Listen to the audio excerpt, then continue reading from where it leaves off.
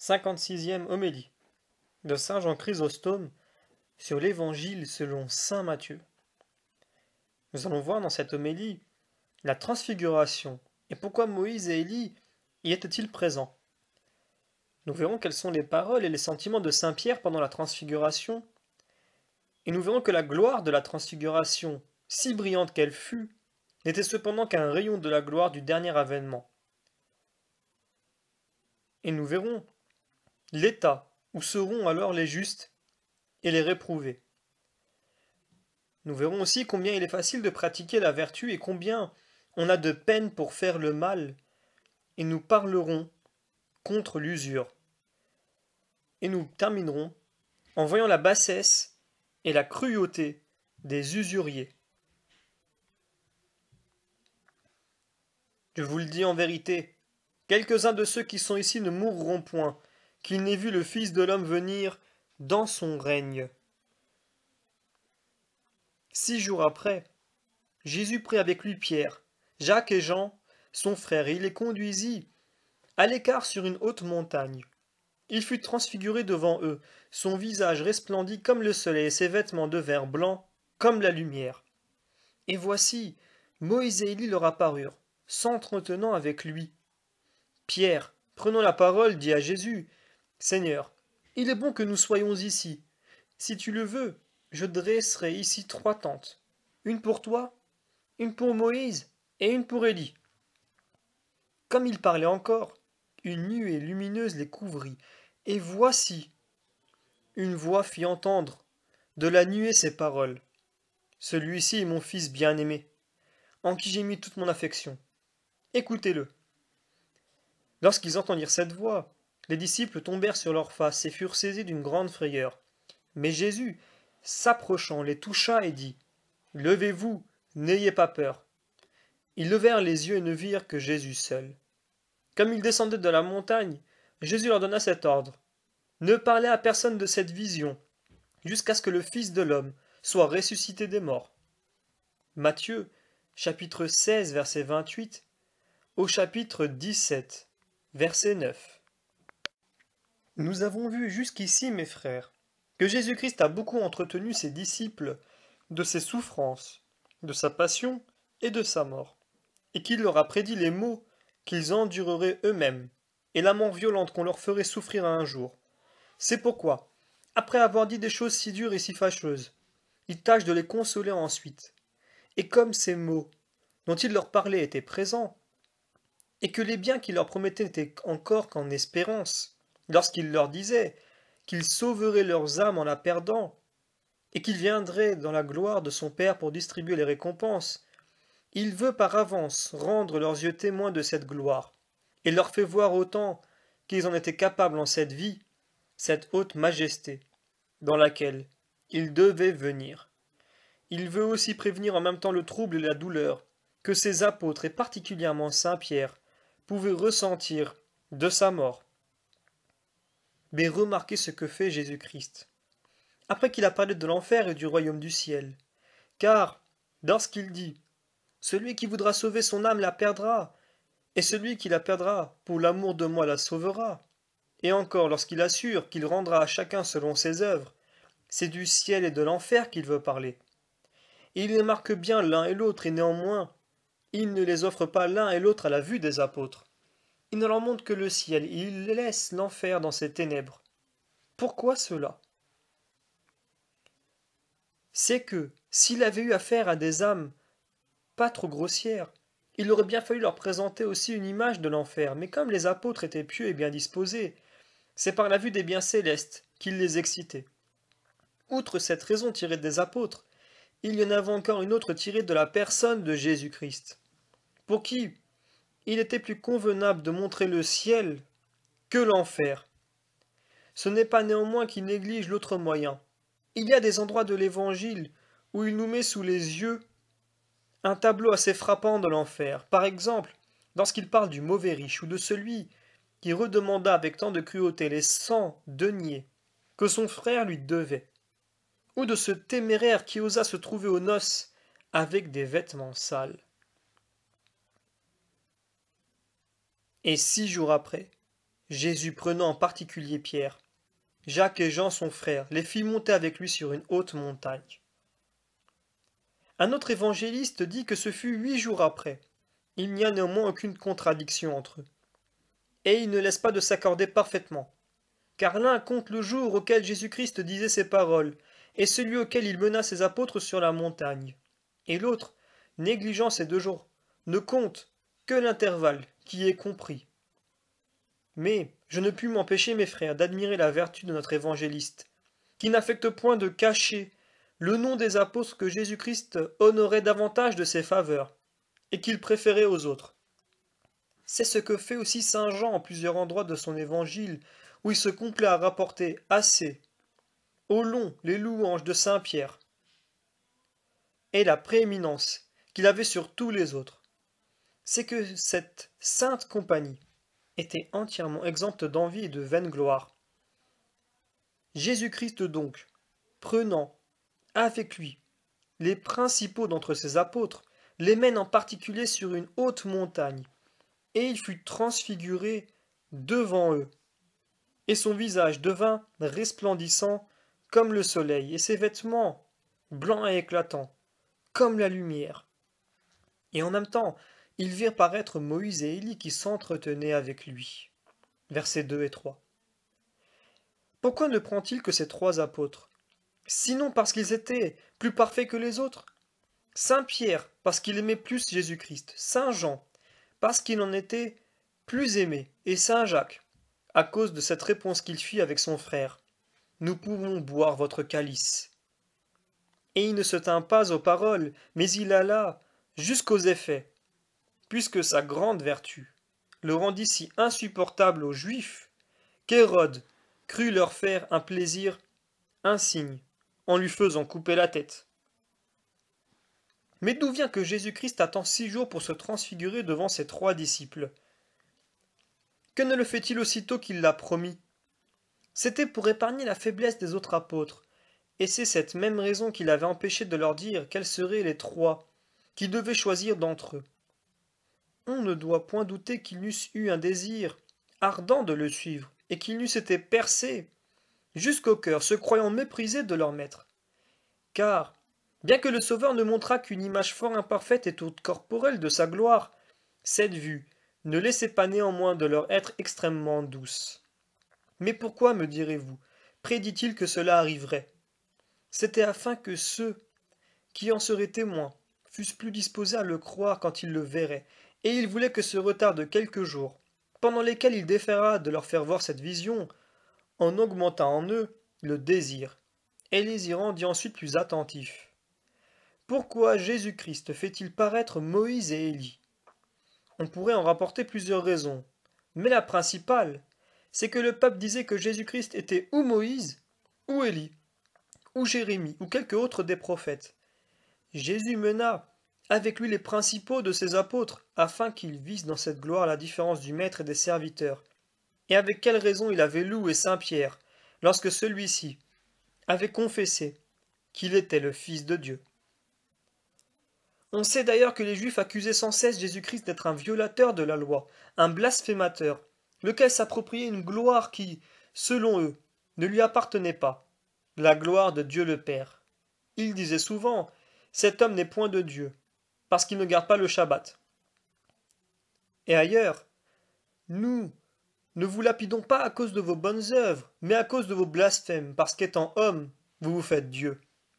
Jean chapitre 10, verset 33. Jésus-Christ donc, voulant montrer que l'une et l'autre de ces deux accusations ne venaient que de l'envie des Juifs, qu'il était également exempt de ces deux crimes, qu'il ne violait point la loi en faisant ce qu'il faisait, et qu'il ne s'attribuait pas une gloire qui ne lui appartenait point en se disant égal à Dieu son Père, Jésus-Christ s'autorise des deux témoins qui étaient les plus irréprochables et les moins suspects en ce point à tous les Juifs. Car, puisque Moïse avait donné la loi, les Juifs ne pouvaient pas dire que ce saint prophète eût voulu souffrir un homme qui la violait, et qu'il eût honoré l'ennemi déclaré des ordonnances qu'il avait autrefois publiées de la part de Dieu. Elle aussi, qui avait été brûlée d'un zèle si ardent pour la gloire et le service de Dieu, n'eut eu garde de venir assister Jésus-Christ et d'obéir à ses ordres, s'il l'eût regardé comme un homme opposé à Dieu, qui eût voulu se rendre égal à lui, et usurper injustement une gloire dont ce saint prophète avait été si jaloux durant sa vie. Jésus-Christ voulait encore apprendre qu'il était le maître de la vie et de la mort, et qu'il dominait dans le ciel et dans les enfers. C'est pourquoi il fait venir ici en sa présence un homme qui était mort et un autre qui ne l'était pas. L'évangéliste nous découvre encore une cinquième raison. Jésus-Christ voulait faire voir à ses disciples quelle serait la gloire de sa croix. Il voulait consoler Saint Pierre et les autres à qui sa passion faisait peur, et relever ainsi leur courage. Car Moïse et Élie, étant avec Jésus-Christ, ne se tenaient pas en silence, mais ils parlaient entre eux de la gloire qu'ils devaient recevoir à Jérusalem, c'est-à-dire de sa passion et de sa croix. Voir Luc chapitre 2 verset 31. Car c'est le nom que les prophètes lui donnaient toujours. Jésus-Christ ne se contente pas néanmoins de fortifier ses apôtres par cette considération. Il les anime encore en rappelant leur mémoire, par la présence de ces deux grands hommes, les vertus dans lesquelles ils avaient excellé autrefois, et que Jésus-Christ désirait le plus dans ses disciples. Et comme il venait de leur dire, si quelqu'un veut venir après moi, qu'il porte sa croix et qu'il me suive. Il fait venir aussitôt, après, en sa présence, des hommes qui s'étaient offerts cent fois à la mort pour obéir aux ordres de Dieu et pour procurer le bien du peuple qu'il leur avait confié. Car on peut dire de chacun de ces deux prophètes qu'ils avaient perdu son âme et qu'ils l'avaient retrouvée. Tous deux s'étaient hardiment présentés devant les princes endurcis, l'un devant Pharaon et l'autre devant Achab. Tous deux s'étaient exposés pour leur parler en faveur d'un peuple désobéissant et rebelle qui, après avoir été délivré d'une tyrannie insupportable, devait ensuite porter sa furie contre ses propres libérateurs. Tous deux, n'étant encore que simples particuliers, avaient néanmoins résolu de retirer le peuple de l'idolâtrie. L'un avait la langue embarrassée, la voix faible, l'autre fut un peu sauvage dans tout son extérieur. Tous deux furent exempts d'avarice, foulèrent aux pieds les richesses, et n'aimèrent que la vertu, puisque Moïse ne possédait rien en propre et qu'Élie n'avait pour trésor qu'une peau de bête qui le couvrait. Et ce qui est très remarquable, c'est qu'ils étaient amis de la pauvreté dans le temps même de l'ancienne loi, et lorsque ni l'un ni l'autre ne faisaient pas encore beaucoup de miracles. Car bien que Moïse ait fendu une fois les eaux de la mer, qu'a-t-il fait de comparable à Saint Pierre qui a marché sur elle, qui a pu transporter les montagnes, qui a guéri toutes sortes de maladies, chassé des démons, fait des miracles par la seule ombre de son corps, et converti toute la terre à Jésus-Christ, que si Élie a ressuscité un mort, les apôtres en ont ressuscité mille, avant même qu'ils eussent reçu le Saint-Esprit. Ce sont donc là les raisons, mes frères, du choix que Jésus-Christ fait de ces deux hommes pour être présents à sa transfiguration. Il voulait que les apôtres imitassent particulièrement dans l'un l'amour qu'il avait eu pour son peuple, et dans l'autre ce courage inflexible qu'il avait témoigné en toute rencontre, afin qu'ils devinssent tout ensemble doux comme Moïse et pleins de zèle comme Élie. L'un frappa toute la Judée d'une famine de trois années, et l'autre disait à Dieu Si vous leur remettez ce péché, Seigneur, remettez-le. Sinon, effacez-moi du livre que vous avez écrit. Exode, chapitre 32, verset 32. C'étaient toutes ces choses dont Jésus-Christ voulait faire souvenir ses apôtres en leur présentant seulement devant eux ces deux prophètes. Il les leur fait voir dans une grande majesté, afin de les encourager davantage à montrer par leur vertu non seulement à ce même degré de gloire, mais encore à un autre plus élevé, car il ne voulait point que ses apôtres se bornassent à l'état et à la perfection de ces deux grands hommes, mais qu'ils allassent encore plus loin. C'est pourquoi, lorsqu'ils lui dirent Commanderons-nous au feu de descendre sur cette ville? En Luc chapitre 9, verset 54, ce que fit autrefois Élie, il leur répond Vous ne savez pas à quel esprit vous appartenez voulant les exciter à la patience par la considération des grandes grâces qu'ils avaient reçues de Dieu. Qu'on ne croit pas cependant que j'accuse Élie comme faible ou comme un homme d'une vertu médiocre, Je reconnais l'excellence et la vertu sublime de ce grand prophète, et j'admire qu'il l'ait possédé en un degré si éminent, dans le temps auquel il vivait. Car on sait combien ce temps était encore faible, et qu'il était comme l'enfance du monde. C'est aussi de cette manière que nous disons que Moïse était parfait, mais d'une perfection qui ne suffisait pas pour les apôtres. Car Jésus-Christ leur demandait plus que n'avait fait Moïse. Si votre justice n'est plus abondante que celle des scribes et des pharisiens, vous n'entrerez point dans le royaume des cieux. Matthieu chapitre 5 verset 27. Il ne les envoyait pas seulement en Égypte, comme il y avait envoyé Moïse, mais dans toute la terre, qui n'était pas moins corrompu ni moins plongé dans l'idolâtrie que ne l'était l'Égypte. Et il n'avait pas à disputer contre Pharaon, mais à combattre le démon même, qui est le prince et le père de toute malice. Car leur combat et leur dessein étaient proprement de terrasser cet ennemi furieux, de l'enchaîner, et de lui enlever ses dépouilles, ce qu'ils firent, non en divisant les eaux de la mer, mais en séparant, par la vertu de Jésus-Christ, qui est la verge de Jessé, les abîmes de l'impiété qui s'élevaient de toutes parts avec plus de violence que tous les flots de la mer Rouge. Représentez-vous ce qui donne d'ordinaire le plus de terreur aux hommes la mort, la pauvreté, l'infamie, et cent autres choses fâcheuses, qui nous font plus de peur que la mer alors n'en faisait aux Juifs. Cependant, Jésus-Christ leur persuade de se raidir contre ces maux, et de passer au travers de ces souffrances, comme à pied sec et dans une pleine paix. Pour les fortifier donc, et pour les exercer dans cette pénible carrière, il fait venir en leur présence ces divins athlètes d'autrefois, qui s'étaient le plus signalés du temps de l'ancienne loi. Mais que dit en cette rencontre Saint Pierre, que l'on voit partout, montrer tant de feu? Seigneur, nous sommes bien ici. Verset 4. Comme il craignait ce qu'il avait entendu dire, il n'y avait pas longtemps, à savoir que Jésus-Christ devait aller à Jérusalem pour y souffrir, et qu'il n'osait plus, après cette rude réprimande, que le Sauveur lui avait faite, prendre encore la liberté de le détourner de ce dessein en le disant Seigneur, ayez pitié de vous. Sa crainte, continuant toujours, lui fit donner encore le même conseil à Jésus-Christ, mais par des paroles différentes et plus couvertes. Il se voyait sur le haut d'une montagne et dans une solitude fort écartée. Il crut que ce lieu était sûr et qu'il valait mieux y demeurer que de retourner à Jérusalem. C'est pourquoi il exhorte Jésus-Christ à y demeurer. Seigneur, dit-il, nous sommes bien ici. Il parle même de faire des tentes, croyant que si Jésus-Christ le lui permettait, il ne penserait plus à retourner dans la ville qui devait le faire mourir. Il espérait ainsi que s'il pouvait une fois porter son maître à ne plus faire ce voyage, il l'empêcherait de mourir car c'était dans Jérusalem que Jésus-Christ disait que les scribes et les pharisiens le prendraient. N'osant donc dire ouvertement tout ce qu'il pensait, et tâchant néanmoins de le persuader au Fils de Dieu, il le dit d'une manière ingénieuse, assez, pour se faire entendre et pas assez, pour s'attirer une nouvelle réprimande. Seigneur, nous sommes bien ici. Puisque Moïse et Élie s'y trouvent présents.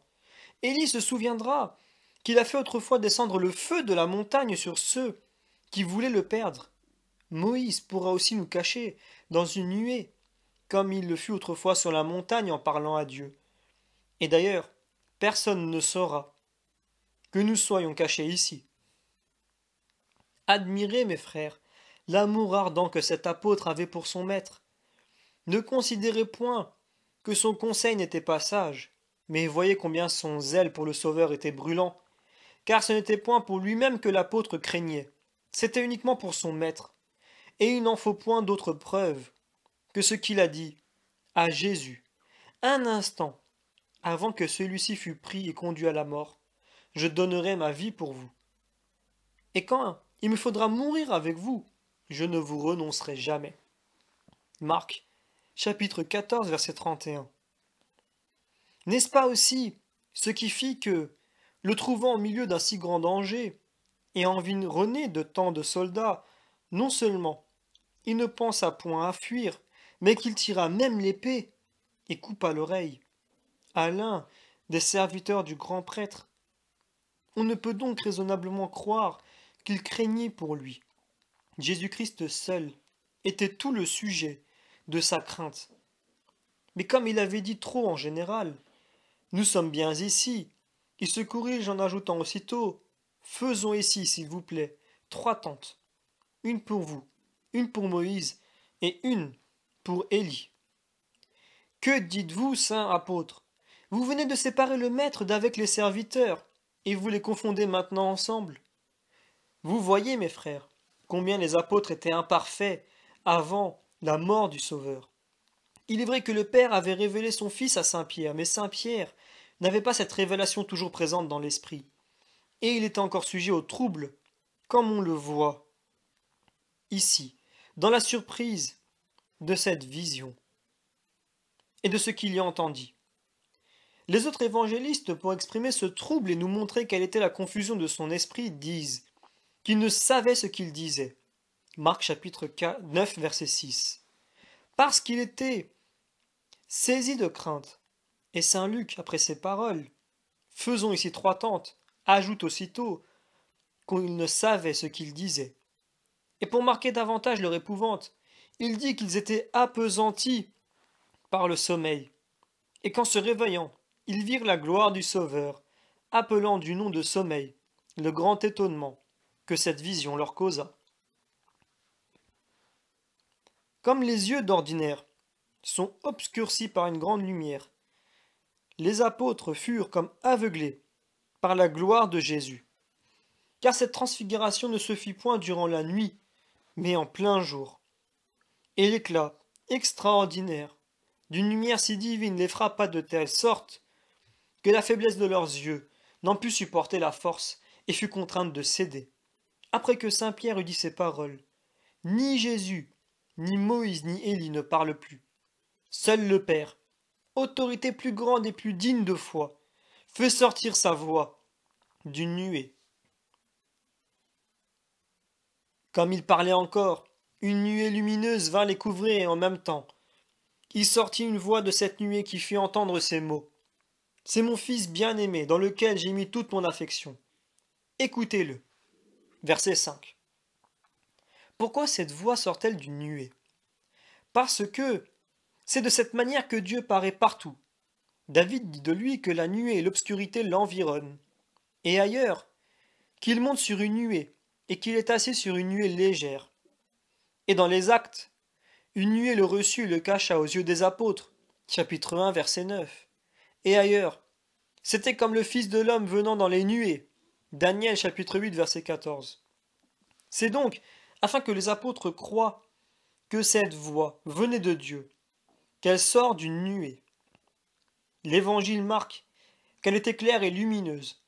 Quand Dieu voulait étonner les hommes par ses menaces, il leur faisait voir une nuée noire et sombre, comme il le fit sur le mont Sinaï. Moïse, dit l'Écriture, entra dans une nuée obscure, et la fumée paraissait de toutes parts comme une fumée épaisse. Exode chapitre 24, verset 13. Le prophète parlant de même des menaces dont Dieu étonnait les hommes, les compare à une obscure et ténébreuse dans les nuées de l'air. Psaume chapitre 17 verset 13.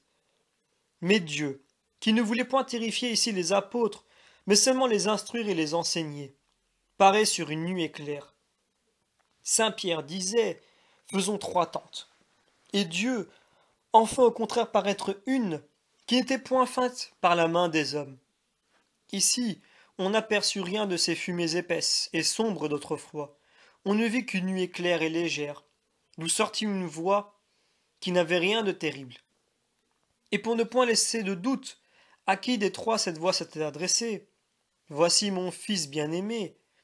Lorsqu'elle se fit entendre, Moïse et Élie s'étaient déjà retirés, ce qui ne fut pas arrivé si ce témoignage si glorieux eût été pour quelqu'un de ces deux prophètes. Pourquoi la nuée les enveloppe-t-elle tous, et non pas le Christ seul? Parce que si elle n'eût reçu que le Christ seul, on eût pu croire que c'était lui qui aurait fait entendre la voix. Aussi l'évangéliste, insistant sur ce point, affirme expressément que la voix venait de la nuée, c'est-à-dire de Dieu. Et que dit la voix? C'est ici mon Fils bien-aimé. Si Jésus-Christ est le Fils bien-aimé du Père, Pierre, ne craignez plus rien. Vous ne devez plus douter de sa toute-puissance, lors même qu'il sera en croix, ni perdre l'espérance de sa résurrection. Si votre peu de foi vous a fait trembler jusqu'ici, qu'au motif la voix du Père vous rassure. Si vous ne doutez point de la toute-puissance du Père, pourquoi doutez-vous de celle du Fils? Ne craignez donc plus les mots auxquels il va s'exposer volontairement vous. Jésus est non seulement le Fils, mais le Fils bien-aimé de son Père. C'est le Père lui-même qui le dit en votre présence. Voici mon Fils bien-aimé. Puisque le Père aime son Fils, que devez-vous craindre? Personne n'abandonne celui qu'il aime. Quittez donc ces vaines terreurs. Quand vous auriez pour Jésus-Christ un amour encore plus tendre, il ne peut égaler celle que le Père éternel a pour son Fils. L'Évangile ajoute, dans lequel j'ai mis toute mon affection. Le Père n'aime pas seulement son Fils, parce qu'il l'a engendré, mais aussi parce qu'il lui est égal en toutes choses et qu'il veut généralement tout ce que son Père veut. Il trouve donc, dans son Fils, un double ou plutôt un triple sujet d'amour. Il l'aime parce qu'il est son Fils. Il l'aime parce qu'il est son Fils bien-aimé. Il l'aime enfin parce qu'il met en lui toute son affection. C'est-à-dire qu'il trouve en lui tout son repos, tout son plaisir. Le Père aime son Fils de la sorte parce qu'il lui égale en tout, et qu'il n'a qu'une même volonté avec lui, et qu'étant Fils, il n'est néanmoins qu'un avec celui qui l'engendre. Écoutez-le, dit le Père, et s'il veut être crucifié, ne vous y opposez pas. Saint Matthieu écrit Les disciples, entendant cette voix, tombèrent le visage contre terre et furent saisis d'une grande crainte. Verset 6. Pourquoi furent-ils saisis d'une si grande crainte en entendant cette voix? Cette même voix s'était déjà fait entendre au baptême de Jésus-Christ, en présence de tout un peuple, et cependant personne de tous ceux qui étaient présents ne fut frappé d'une semblable terreur. Voir Jean chapitre 12 verset 21. Il est encore marqué dans la suite qu'ils entendirent comme la voix et comme le bruit d'un tonnerre, et cependant ce tonnerre ne les étonne pas autant que le fait ici cette voix. Quel est donc le sujet de la crainte qu'ils éprouvent? C'était, mes frères, à cause de toutes les circonstances, du temps, du lieu, de la solitude, de la montagne, du silence qui y régnait, de la transfiguration du Sauveur, de la lumière si brillante qui parut alors et de cette nuée qui les couvrit de son ombre. Toutes ces particularités jointes, ensemble, les jetèrent dans une appréhension extrême. Tout ce qu'ils voyaient contribue à leur trouble, et ils se jettent par terre, autant par un sentiment de crainte que par un mouvement d'adoration. Mais Jésus, pour empêcher que cette crainte ne leur fît perdre la mémoire de ce qu'ils venaient de voir, les en délivre sur l'heure. Mais Jésus, s'approchant, les toucha et leur dit Levez-vous et ne craignez point. Alors, levant les yeux, ils ne virent personne que Jésus tout seul. Et comme ils descendaient de la montagne, Jésus leur fit ce commandement et leur dit Ne parlez à personne de cette vision jusqu'à ce que le Fils de l'homme soit ressuscité d'entre les morts. Versets 7 à 9. Jésus-Christ leur défend de parler de cette vision avant qu'il fût ressuscité d'entre les morts, parce que les apôtres publiaient de grandes choses à son sujet. Et plus ils faisaient cela, plus les hommes les croyaient difficilement. D'ailleurs, le scandale de la croix s'en fut augmenté. Il a soin, en leur faisant cette défense, de leur marquer qu'il ne les engageait pas au silence pour toujours, mais seulement jusqu'à ce qu'il fût ressuscité d'entre les morts, comme pour leur rendre raison du commandement qu'il leur faisait. Il use, en leur parlant de sa passion, d'une expression qui cachait ce qu'elle avait de triste, et qui ne faisait paraître que la fin, qui devait être agréable. Mais quoi? Me direz-vous, les hommes, ne devaient-ils plus se scandaliser de la croix du Fils de Dieu lorsqu'il serait ressuscité entre les morts? Tout le monde sait que non. Le temps des scandales était celui qui précéda la passion. Mais depuis que les apôtres eurent reçu la plénitude du Saint-Esprit, et que l'éclat de leurs miracles soutenait leur prédication, ils persuadèrent aisément aux hommes tout ce qu'ils voulurent, parce que d'une voix plus éclatante que le son de la trompette, les faits publiaient d'eux-mêmes la puissance du Sauveur. Quoi de plus heureux que ces trois apôtres qui furent trouvés dignes d'être avec le Seigneur, enveloppés d'une même nuée? Pour nous, mes frères, il dépendra de nous, si nous le voulons, de voir aussi le Fils de Dieu dans sa gloire. Nous pourrons le voir, non plus comme ses trois disciples sur la montagne, mais d'une manière bien plus auguste. Quand il viendra au milieu des airs pour juger le monde, ce ne sera plus avec cette faible gloire qu'il fit paraître sur le tabord. Il faisait épargner, il fallait épargner la faiblesse des apôtres, et Jésus-Christ ne leur devait dévoiler sa gloire qu'autant qu'ils étaient capables de le supporter. Mais lorsqu'il se fera voir à la fin du monde, il viendra dans toute la gloire de son Père.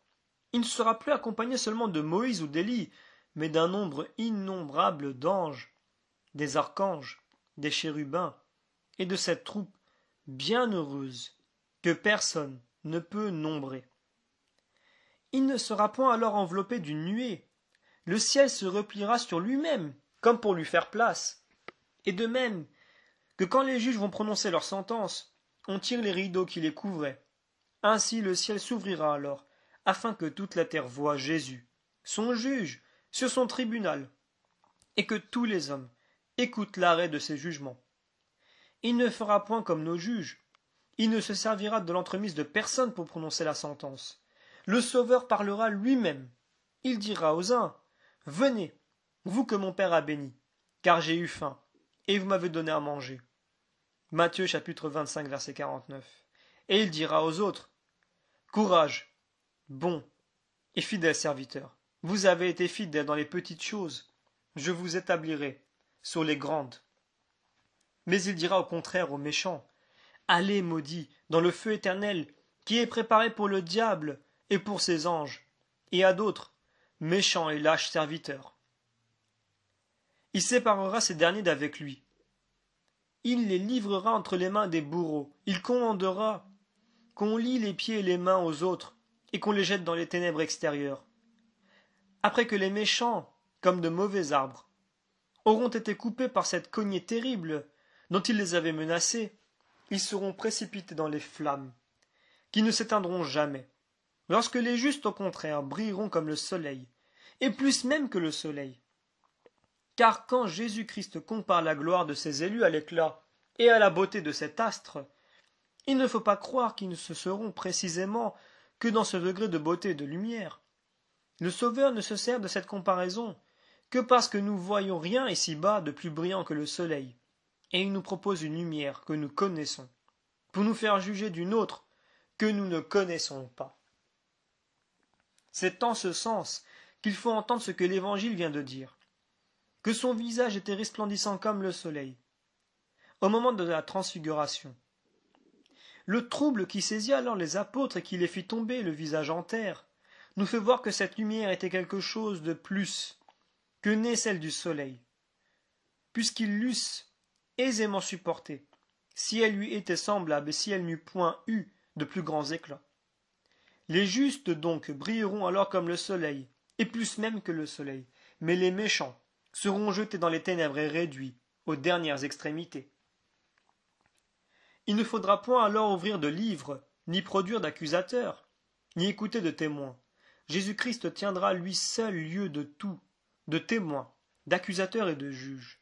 Il connaît parfaitement toutes choses. Tout est nu et développé à ses yeux. Toutes les différentes conditions d'ici-bas, de pauvres ou de riches, de puissants ou de faibles, de sages ou de fous, d'esclaves ou de libres, disparaîtront en sa présence. Toutes ces qualités extérieures et étrangères à l'homme s'évanouiront devant lui, et il jugera de chacun, uniquement par ses œuvres. Nous voyons tous les jours dans les jugements séculiers, lorsqu'on juge un meurtrier et un homicide, ou un criminel de lèse majesté, qu'on oublie toutes ces qualités passées. On ne se souvient plus qu'il ait été ou préfet, ou consul, élevé en un mot aux plus hautes charges de l'État. On ne le considère plus que comme un coupable, et on ne pense qu'à lui faire souffrir la peine qu'il a méritée. Si cela est vrai des jugements de la terre, combien le sera-ce davantage du jugement de Dieu même? Prévenons donc, mes frères, la rigueur de ce juge. Quittons la robe souillée du mal, couvrons-nous des armes de la lumière. afin qu'alors la gloire de Dieu nous environne. Car, enfin, qu'y a-t-il de si pénible dans ce que Dieu nous commande? Ou qu'y a-t-il au contraire qui ne soit aisé? Écoutez le prophète Isaïe, reconnaissez avec quelle facilité vous pouvez obéir à la loi de Dieu. Quand, dit-il, vous humilierez vos têtes, et que vous seriez sur le sac et sur la cendre, vous n'offrirez pas encore une hostie qui fût agréable à Dieu. Mais rompez tous les liens de l'iniquité et déchirez les obligations exigées par votre avarice et par votre violence. Isaïe, chapitre 58, verset 5. Admirez la sagesse du prophète. Il semble ne parler d'abord de ce qui est le plus aisé, des choses rudes et pénibles, que pour les exclure, et il nous porte ensuite à nous sauver par la pratique de ce qui est plus aisé. Il nous fait voir que Dieu ne recherche pas principalement de nous les travaux du corps et l'affliction de la chair, mais qu'il veut avant tout que nous obéissions à ses lois et que nous exécutions ses commandements.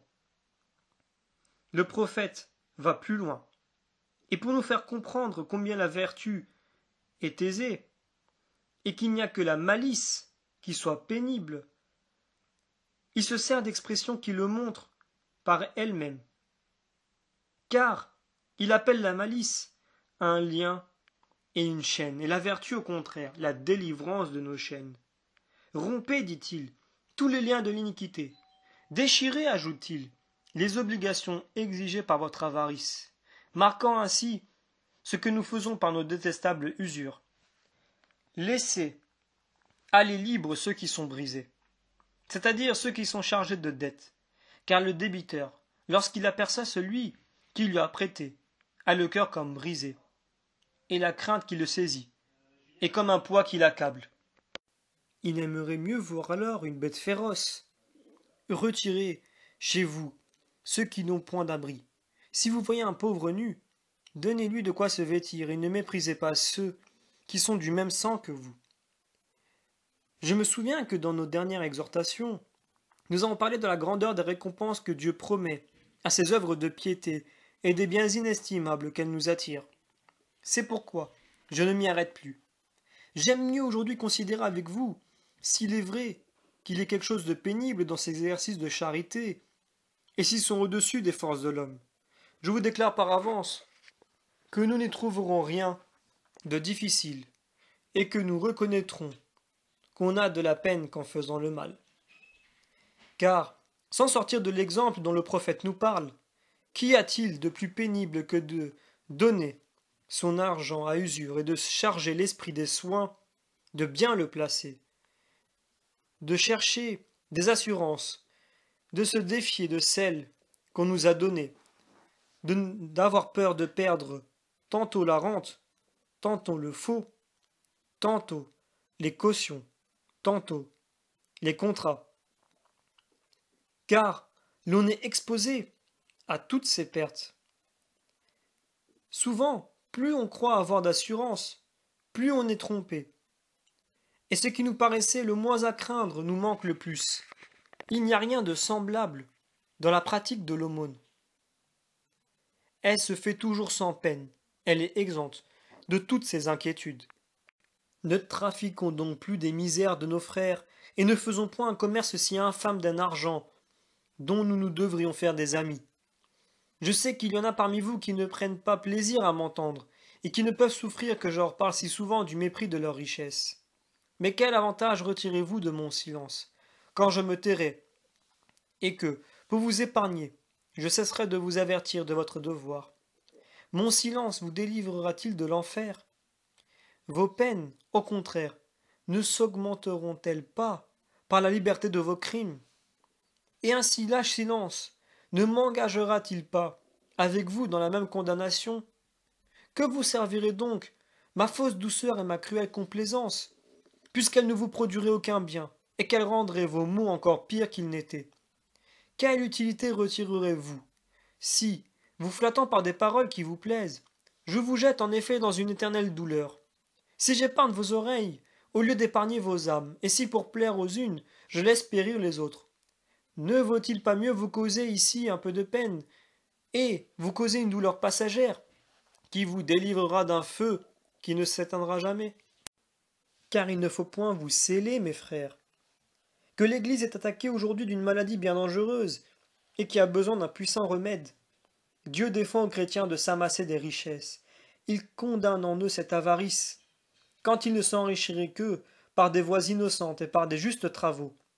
Parce qu'il ne veut pas qu'ils se fassent un trésor sur la terre, il leur commande au contraire d'ouvrir leur maison aux pauvres et de leur faire part de leurs biens. Et cependant, on voit qu'aujourd'hui ils s'enrichissent de la misère et de la pauvreté de leurs frères, et qu'ils sont ravis d'avoir trouvé une sorte d'avarice, qui leur paraît irréprochable, et qui est même couverte de quelques prétextes de bonté. Il ne m'alléguait point ici les lois et les coutumes. Les publicains et les usuriers déclaraient les gardes, et ils ne laissent pas d'être condamnés de Dieu. Ne doutons point donc que nous ne le soyons nous-mêmes. Si nous ne cessons de tyranniser les pauvres, si nous augmentons leur pauvreté par nos usures, et si nous tirons un gain cruel de l'argent que nous leur prêtons pour satisfaire aux plus pressantes nécessités. Dieu vous a donné des richesses non pour appauvrir les autres, ni pour trafiquer de leur misère, mais pour les en délivrer. Vous témoignez vouloir soulager leur pauvreté, et vous la rendez plus insupportable. Vous feignez de les consoler et vous les jetez dans le désespoir. Vous voulez tirer un gain infâme de vos aumônes, et vous vendez le plaisir que vous leur faites. Vendez-le. Je ne vous en empêche pas, mais que ce soit pour le royaume des cieux. Ne vous contentez plus d'un vil gain, d'un pour cent par mois, et ne prétendez pas moins qu'une vie qui ne finit point. Pourquoi vous condamnez-vous vous-même à une si grande bassesse et à un gain si méprisable? Avez-vous l'âme assez basse pour abandonner de si grandes choses, afin de vous attacher à d'autres, qui sont si petites, et pour vous contenter d'un peu d'argent, lorsque rien ne devrait vous contenter que le royaume de Dieu? Pourquoi laissez-vous de côté les récompenses que Dieu vous offre pour en chercher de basses et de honteuses parmi les hommes Pourquoi quittez-vous celui qui est infiniment riche pour vous adresser à un pauvre qui n'a rien? Pourquoi méprisez-vous celui qui ne cherche qu'à répandre ses dons et ses grâces, pour mettre toute votre espérance dans un ingrat? Vous, ne confiez pas votre argent à celui qui pourrait tous les rendre avec une grosse usure, et vous l'abandonnez à celui qui est même incapable de vous le rendre. L'un ne souhaite que de vous le restituer, et l'autre ne craint rien tant que d'être contraint de le faire. L'un ne peut qu'avec peine donner un pour cent et l'autre vous offre cent pour un dans ce monde, et une vie éternelle dans l'autre. L'un nous vous rend ce qu'il vous doit qu'avec des murmures et des injures, et l'autre vous le rendrez avec des louanges et des applaudissements. L'un tâche d'attirer sur vous la haine de tout le monde, et l'autre ne pense qu'à vous couronner un jour devant tout le monde. N'est-ce donc pas le comble de la folie de ne savoir pas même où l'on doit placer son argent et où on doit le chercher à gagner? Combien a-t-on vu de personnes perdre leur fonds par le désir violent d'en tirer trop de revenus? Combien en a-t-on vu d'autres courir une infinité de hasards et s'exposer aux pièges que leur tendaient ceux qui enviaient leur richesse? Combien en a-t-on vu tomber dans la dernière pauvreté par l'insatiabilité de leur avarice? Ne me dites point pour vous excuser que ces pauvres se réjouissent lorsque vous leur prêtez votre argent et que même ils vous rendent grâce de votre usure. C'est votre cruauté qui les oblige de trouver cette triste joie dans ce qui les réduit à la dernière pauvreté. Lorsqu'Abraham livra sa propre femme entre les mains des barbares, il se prêta à l'accomplissement de leurs mauvais desseins. Mais était-ce de bon gré ou par la crainte de Pharaon? C'est ainsi que le pauvre agit. Comme vous êtes assez dur pour ne pas lui donner gratuitement la somme dont il a besoin, il est contraint de rendre grâce à votre avarice et de recevoir avec joie l'effet de votre cruauté. Vous ressemblez à un homme qui, en délivrant un autre d'un péril de mort imminent, exigerait de lui la récompense de ce service. Cette comparaison vous fait horreur et vous paraît injurieuse. Quoi donc? Vous rougiriez d'exiger de l'argent d'un homme pour l'avoir tiré de ce péril. Et vous ne rougissez pas d'en exiger si cruellement pour l'avoir assisté dans un besoin moins considérable. Ne prévoyez-vous point, déjà, que le châtiment vous est réservé pour une telle conduite? Et vous ne vous souvenez point avec quelle sévérité ce crime était défendu dans l'ancienne loi? Mais quelle est l'excuse dont la plupart se couvrent? Il est vrai, disent-ils, que je prête mon bien à usure, mais c'est pour assister les pauvres. Malheureux, que dites-vous? Dieu rejette avec horreur ces détestables aumônes. Il ne veut point ces sacrifices sanglants. Ne faussez point la loi de Dieu. Il vaut mieux ne rien donner aux pauvres que de leur donner d'un bien si cruellement acquis. Vous faites même souvent qu'un argent, qui n'avait été amassé que par de justes travaux et par des voies très innocentes, devient enfin un argent maudit de Dieu, par vos usures illégitimes, et vous faites le même mal, que si vous forciez un sein pur et chaste d'enfanter des scorpions et des vipères. Mais pourquoi vous parlez de la loi de Dieu? N'avouez-vous pas vous-même que l'usure est une chose très infâme? Si vous, qui profitez de ces usures, ne les regardez néanmoins qu'avec horreur, jugez de quel œil Dieu les regarde. Que si vous consultez ceux qui ont établi les lois humaines, ils vous diront que l'usure a toujours été regardée comme la marque de la dernière impudence. Et c'est pour cette raison qu'il n'est jamais permis aux personnes constituées en dignité, ni aux magistrats, de se déshonorer par ces gains infâmes. C'est la loi, dites-vous, qui le leur défend. Tremblez donc de votre indifférence lorsque vous avez moins de respect pour les lois de Dieu que les magistrats n'ont pu pour les lois civiles, et lorsque vous témoignez, estimez moins les oracles du ciel qu'ils n'estiment les arrêts du Sénat de Rome. Mais si je vous crois, me dites-vous, et que je place mon argent au ciel, il me profitera moins que placé sur la terre. Ne rougissez-vous pas d'autoriser ainsi l'injustice de vos usures Je l'appelle une injustice, car y a-t-il rien de plus injuste que de semer sans terre, sans pluie, sans charrue et sans semence Que recueillent aussi ceux qui sèment de la sorte, sinon une ivraie qui sera jetée dans le feu? N'y a-t-il point d'autre voie juste et légitime de gagner sa vie? Ne peut-on pas cultiver les champs, nourrir des troupeaux, engraisser des bœufs, travailler des mains et ménager son revenu? N'êtes-vous pas déraisonnable? N'êtes-vous pas insensé de passer toute votre vie à labourer et à semer des épines? Vous me répondrez peut-être que les fruits de la terre sont sujets à trop d'accidents, que souvent la grêle, les brouillards, les eaux et les chaleurs ruinent tout. Mais y a-t-il là autant de périls à craindre que vous en courez pour l'usure?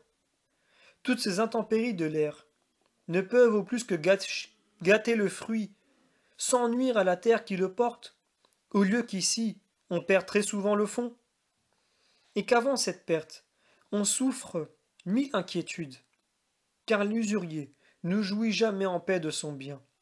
Jamais il n'y trouve de repos. Quand on lui apporte de l'argent, il ne considère point ce qu'il a, mais ce qu'il n'a pas. Et quelque grande que soit la rente qu'on lui paie, il s'afflige toujours de ce qu'elle n'égale pas le fond. C'est pourquoi il ne peut, dans cette impatience avare, se donner le temps d'amasser quelque somme considérable. Il replace cet argent à mesure qu'il le reçoit. Il contraint ses revenus injustes de lui produire d'autres revenus semblables, comme une vipère produit encore d'autres vipères. Je me sers de cette comparaison parce que l'usure ronge plus l'âme de l'avare qu'il exige que les vipères ne rongent les entrailles qui leur ont donné la vie. Ce sont là les liens injustes dont parlait tantôt le prophète, et ces chaînes pesantes qui accablent ceux qui les portent. Je vous donne, dit l'usurier, non afin que vous jouissiez de ce que je vous donne, mais afin que vous me rendiez plus que je ne vous ai donné. Quoi? Dieu ne veut pas que vous demandiez même ce que vous aviez donné. Donnez, dit-il, à ceux dont vous n'espérez rien recevoir. Luc chapitre 6, verset 40. Et vous exigez plus même que vous ne donnez? Vous redemandez comme une dette, un argent qui n'est point sorti de vos mains. Croyez-vous augmenter votre bien par un moyen par lequel vous ne vous amassez qu'un trésor de colère et de vengeance?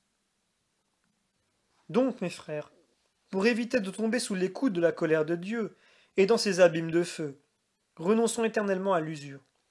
Desséchons cette racine empoisonnée qui ne porte que des fruits de mort, et n'aspirons plus qu'à ce gain dont parle saint Paul, qui est le seul gain qui soit grand et légitime, c'est-à-dire la piété, avec ce qui nous suffit pour vivre.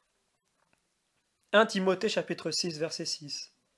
C'est de ce trésor que nous devons nous enrichir, afin de passer ici paisiblement notre vie, et de jouir ensuite des biens éternels que je vous souhaite, par la grâce et par la miséricorde de notre Seigneur Jésus-Christ, à qui, avec le Père et le Saint-Esprit, et la gloire, la puissance et l'empire, dans tous les siècles des siècles. Amen.